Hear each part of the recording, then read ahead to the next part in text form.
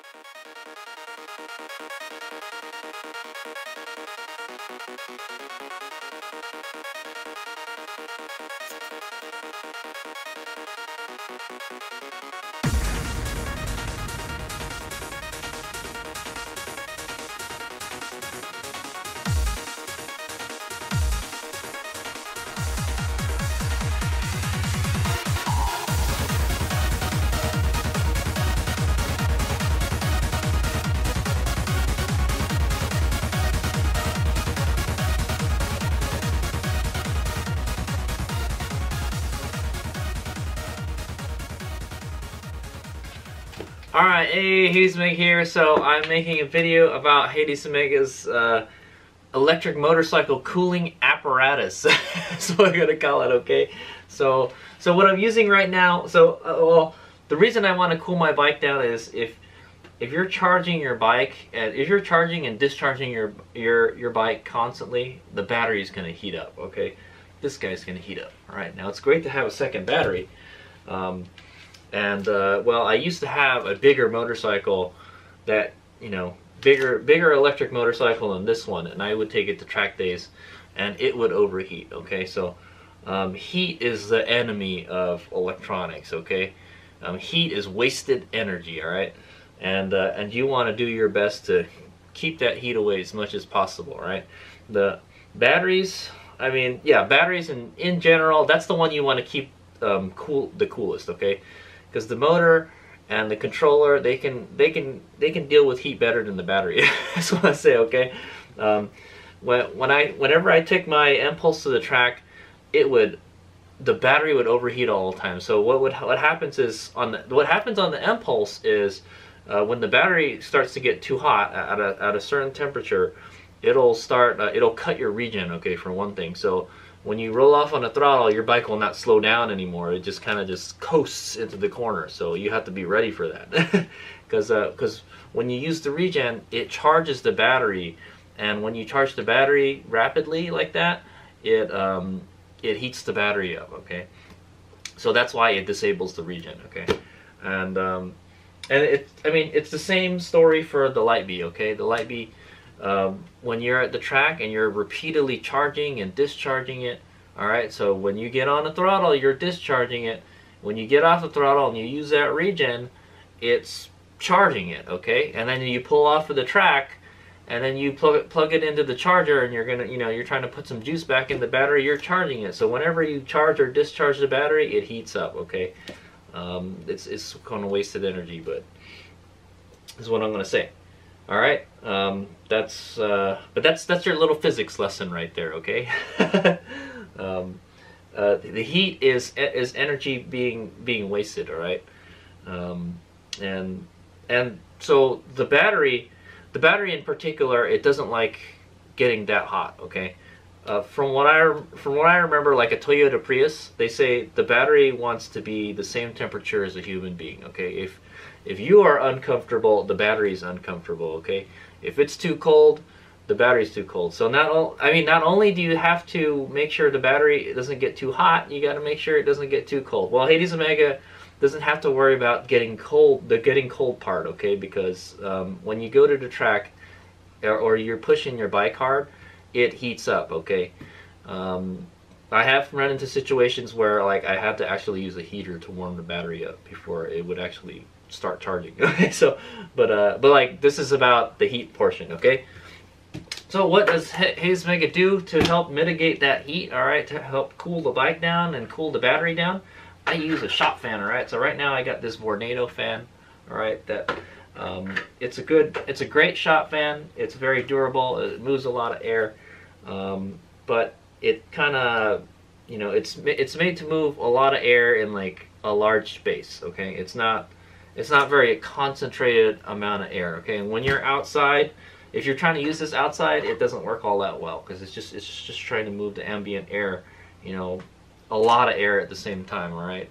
So yeah, this but this is what I'm using right now, and I wanted to get a second fan, all right? So that and that's what I got right here. So I can cool both sides of the battery while while I'm charging, okay? Or I can control I can I can direct one towards the uh, the controller and the motor to keep the motor controller cool, all right, and then have one aimed at the battery, okay, that type of thing. So I wanted to have more than one fan, all right, when when I'm when I'm charging at the track, okay, or when I pull off of the track. Um, it's very important that you cool down the electronics as fast as you can. Okay, don't don't let them get too hot. All right, um, and they can handle the heat, but like the the cooler you can keep it, the the more performance that you're gonna have. That's what I'm gonna say. Okay, um, and one very simple thing to one one very simple thing you can do at the racetrack to keep your bike from getting too hot is to keep it in the shade. Okay, don't put it, don't leave it in the sun. That's that's like that's the that's the that's the number one. Okay, that's the number one rule. Number two is yeah, have a fan. okay, make sure you have a fan to cool your bike down. Okay. And so that's why I bought this guy. Um, this, so this is the second second dealie that I'm going to be trying. Okay, this second cooling fan that I'm going to be using. This Vornado guy, it works great. I'm probably still going to use it. The uh, only thing I don't like about it is kind of it's kind of awkward. I think I got this for about 50 or 70 dollars on Craigslist. All right, I think this costs more than this is like a hundred dollar shop fan, guys. Okay, it's a very good fan. Okay. If you need to move a lot of air into like a room, that, that will do the trick, okay? This is actually a shop fan, okay? This is advertised as a shop fan. It's very powerful, okay? But I wanted to have something that can, like, you can direct the air more more easily, okay? And I didn't, I, so, how, where, where did Omega get this from? Okay, so I got this, I got this blower. It's a Ridgid blower. It's a 600 CFM blower. See, it's a Ridgid three-speed blower. It's rated at uh, 600 CFMs here. Okay, uh, we'll take a closer look at the box in a second, and it's a it's a model AM Alpha Mic 2265. Okay, um, the reason I bought this one, there was okay uh, now there was one on Craigslist. Okay, somebody was selling the 1600 CFM one. That one is like almost triple can move triple the air of this one. Hopefully, hopefully, hopefully this one will be enough. You know. I think this one moves about 600 CFM. All right. Um, but uh, I wanted to buy this one because it was smaller. Okay, the the 1600 one is is like double the size almost, man. It's it's ridiculous. And and then like I my my generator can only you know take so much uh, take so much um, power, you know. so so I try not to overload it. Is what I'm gonna say. And I don't want to carry like a big old blower around with me. Okay. Um, so I got this from Home Depot, all right, Home Depot. But I did, I they didn't have it at the store, so I had to order it from Home Depot, and they shipped it to me. All right, so I ordered it from Home Depot for eighty-seven thirty-seven. Okay, I think that must be with all the tax and everything. The shipping was free, so eighty-seven thirty-seven shipped to your door. Okay, that's, that's so that's not such a bad deal. Let's talk about about how much I bought one this guy for. Okay. And there it is. All right, so we're gonna go. Um, I will. We will do a practical test tomorrow. Okay, but today uh, we're just gonna. Um, we're. I'm gonna do an unboxing with this guy. Okay, here we go. we're gonna go take a look at the box real quick before we open it. All right, so this it's made by the brand Ridgid Okay, Ridgid is a pretty popular brand. All right, now I think Home Depot sells a lot of their their uh, stuff. All right, so there we go. It is the Alpha Mic 2265 model all right I think this is the smallest one they have all right and I read the reviews on it it seems okay I felt that 600 CFM might be enough okay um, and it has a three speed three speeds okay so three speed air mover it's a blower fan okay um, Hades Omega. Oh yeah, lovely talk okay, yeah. This. I I didn't talk about the uh, wh where I got this idea to use a blower fan. Okay, so uh, the the difference between a blower and just like a regular fan is like a fan just has like a you know a propeller or blades, you know, and it it direct it, it shoots the air out, you know, and and like however wide the the diameter of the fans, okay, the the, the how how wide the fan blade is, that's how much you know where the air is going to get thrown out. All right. Now blower, it's like a you know just think of like a blow dryer, right? So you've got like a fan and it's it sucks the air in. It's kind of like a turbocharger. Think of a turbocharger. It sucks it in from the side and it blows it out through out of the snail portion. Okay, but it's also it's also like compressing the air at the same time. It the the air is more uh, is more tightly packed. Okay, um, just think of like a leaf blower or something. You know, just you know, it's a more it's more condensed. Okay, it's a more condensed air, and so that that's you're gonna so you're gonna shoot a lot of air into one like small place. And that's what we need, okay? Especially outdoors, because outdoors a fan doesn't work too well, okay? Uh, you would need a really powerful fan for that, okay?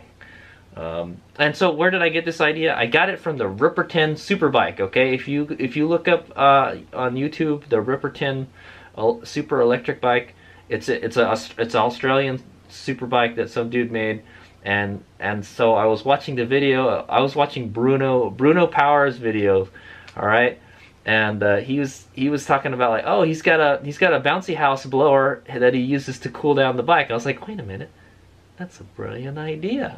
Those are really powerful. Those are enough, you know, it's enough to inflate a bouncy house, you know, so to keep it fully inflated, you know, or it's like it's one of those things that you've got one of those those inflatable like ornaments or something all right? So so that's where I got that this idea from all right? Uh, I just I just wanted to point that out all right? I, I, I, didn't I didn't think about it myself until I saw it I was like hey that's a good idea I want to try that. So so here we are all right. Okay so one thing before we check the back of the box um, so it is three speeds, and it, it also tells you how much amps it pulls for for each one. It's really not much of a difference between each one, honestly. So, well, one point, let's say two amps. So, so what's two amps from a 120 volt outlet? What's 120 times two? Okay, that's 240. So this eats up 240 watts. Actually, is that's not a lot. Maybe this isn't powerful enough. I'm not sure. I was hoping it was going to eat up more power.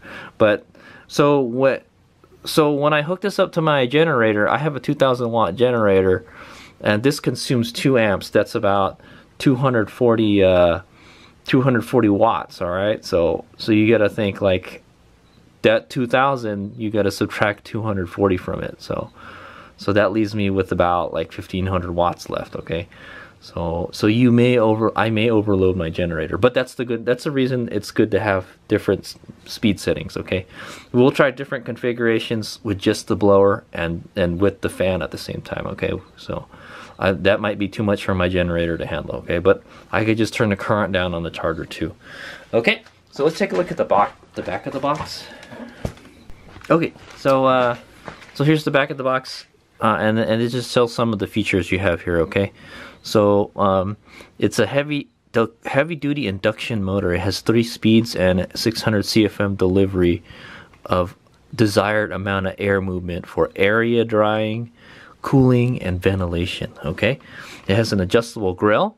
All right, so you can direct the air to where you need it. So it has a little more adjustability. All right, um, that I've, I've seen the kind of how the way how the way you can adjust it, and uh, it's yeah, it's a little crude. Okay, so we'll say, um, but but with this adjustable grill, you can you can fine tune where you want the air, so that's good. Um, two built-in receptacles with overload protection. Okay, so that's what this is. So they have the numbers here and everything. Um, right here they have an um, there's another outlet right here. So uh, you can kind of daisy chain them. So if you want if I wanted to get another blower I could connect it to this one okay? Or or I can plug in my Vornado fan to it okay? So that's very good okay? I like it. So it kind of in, in a way it acts as like an extension cord sort of or a power strip all right?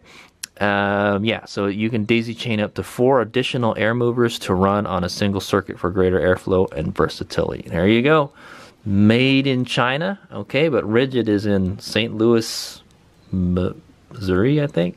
MO, is that Missouri or Montana? I'm not sure. I'll put a subtitle below.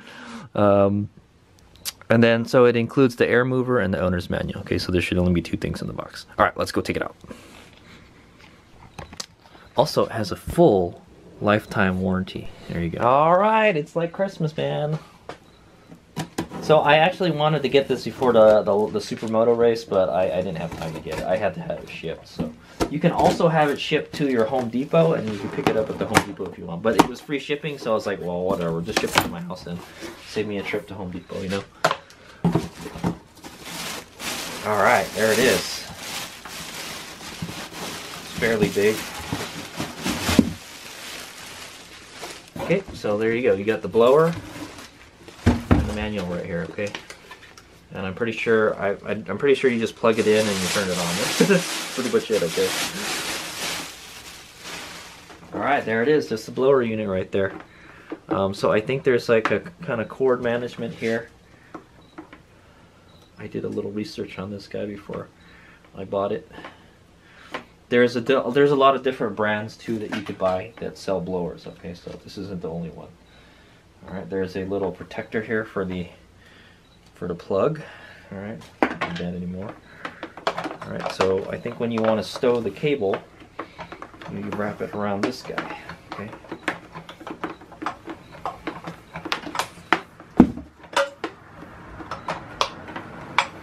This will be nice to keep cool when it's hot too in the pit. So, okay, yeah, and it has a little little thing where you can attach it right there. So very good, good cable management is what I want to say. So when I when I when I'm hauling this around in the van, you know, it's not very heavy either. I'll tell you, I'm not even gonna bother weighing it, man. That's like, look at that. I'm I can pick it up with my pinky finger if I want. Nah, maybe not. I can I can barely kick it up with my pinky. Okay, um, two fingers. I can pick it up with two fingers, no problem. All right, yeah, so it's pretty light. It's probably like around 10 pounds or something. Okay, guys. Okay, so there's their outlets. There is a breaker right here. Okay, it says 9 amps max. Okay, because this is already drawing like almost 2 or 3 amps almost. Um, there's like a warning sticker here. There's little rubber bumpers here, so hopefully these don't come fall, fall apart because you kind of it because if you don't have these, it's going to vibrate a whole lot and it might start moving. Okay, and then there's a, the power stuff here. It eats up 2.1 amps, 2 amps, and 1.9 amps. I wish I knew that before I bought it. Maybe I wanted to buy a more powerful one. Okay, there's a grill right here. Okay, if you guys don't know how a blower works, all right, it sucks in air through here. Okay, and then and then it blows it out this way. Okay, it works a little different than the fan. Um, just think about like the blower fan in your car, right? Similar. Okay, this is how you turn on and off. All right, it's off, high, medium, low. Okay, and then there's this the grill they're talking about that it's kind of like a car grill, like the grill inside a car. Uh, like the vents. There you go. Wow, it doesn't move a whole lot, guys. That's it. it just, they said it moves 30 degrees. Okay? Not a whole lot. I'm just gonna keep it straight, okay? All right, so yeah, that should be it. Let me go, let's go plug it in real quick and then, uh, and then we'll see it run real quick. And then tomorrow I will do a practical test. I will hook it up my bike to a charger and then we'll, we'll, uh, we'll cool it and while it's charging, okay? All right. Okay, got an extension cord right here. We're gonna go take this out, unroll it.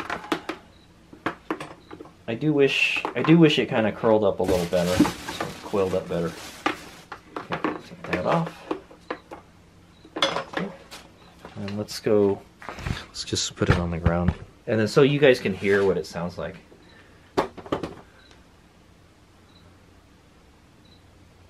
Okay, plugged it in. All right, get ready, guys.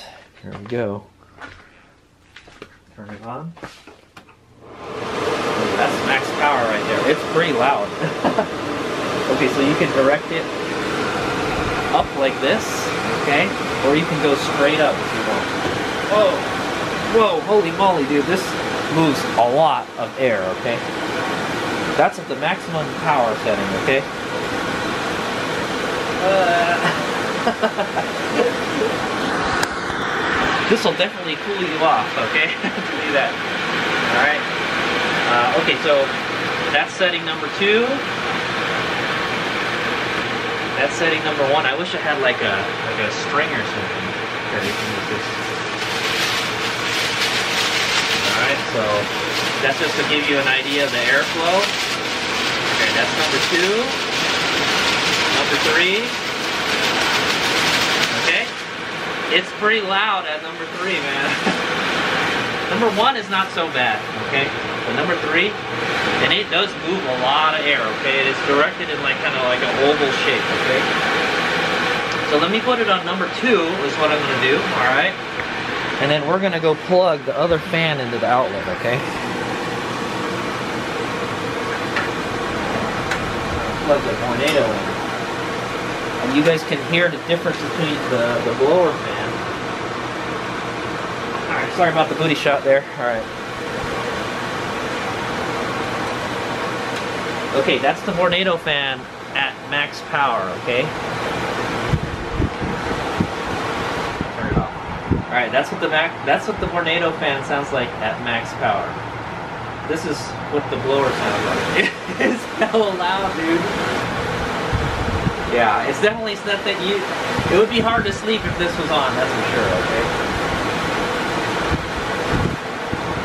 Yeah, I'd say on the lowest setting, it's about as loud as the Vornado fan. And I'm not gonna lie, the Vornado fan is already kind of noisy, so... yeah, man, this thing moves a lot of air, okay? There's no doubt in my mind that this will keep the Lightning cool while it's charging, okay? But we'll have to see on those extremely hot days, okay? Okay, and that's, that's just the Vornado fan right there, okay? There you go. It works. I'm pretty happy with it. Nice. So I don't know if we're just gonna try. Um, I would I would bring both to the track and see, you know. But we're gonna try. Uh, we're gonna do a practical test tomorrow.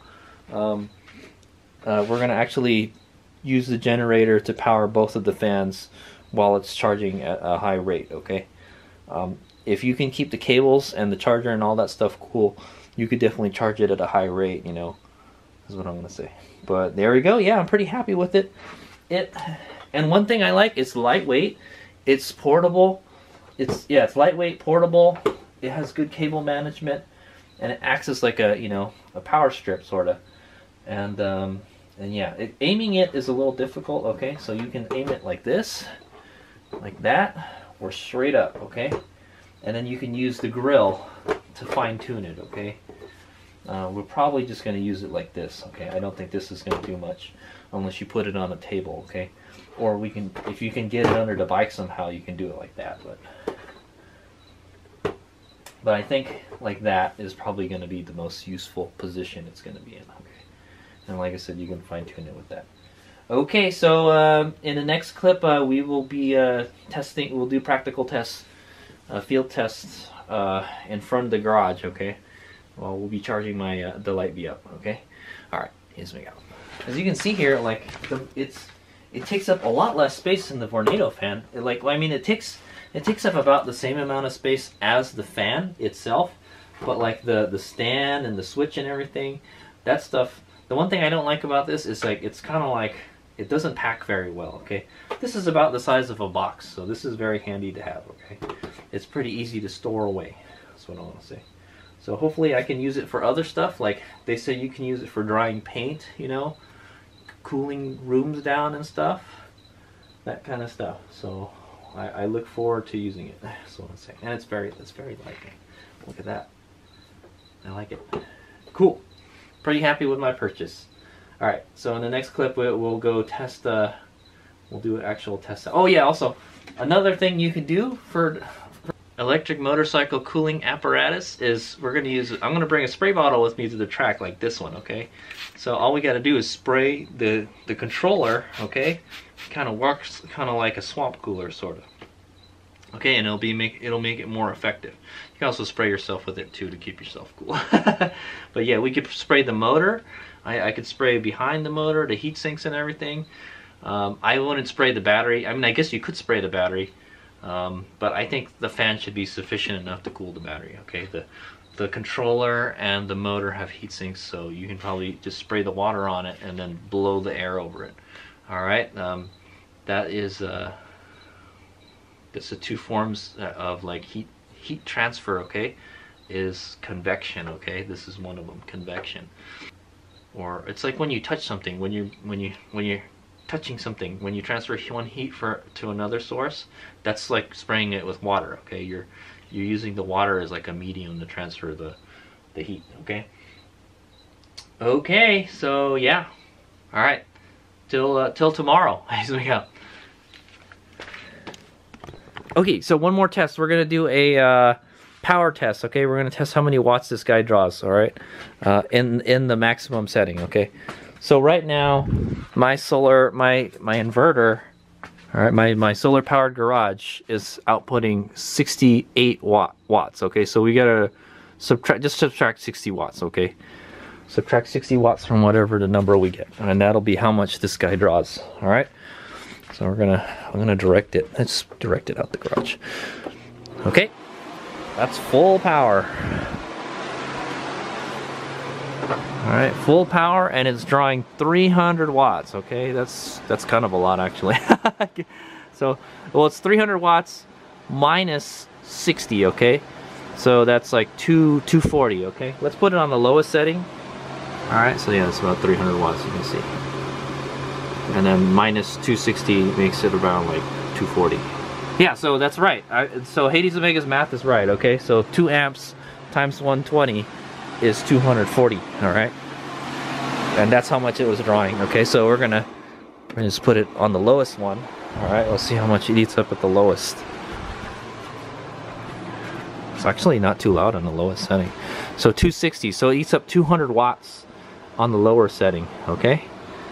So there you go. Just that's just to give you an idea of the power consumption because you can we can only push so much power through that generator, okay? When we're at the track. All right. Cool. Alright, yeah. Yeah, yeah. I know this video is kind of more about my new blower than than the Vornado fan, but but that's what I was using before, and now this is what I think I want to use now, okay? Alright, here's what we got. Actually, we can do a test to see how much the Vornado fan eats up also. Let's try that.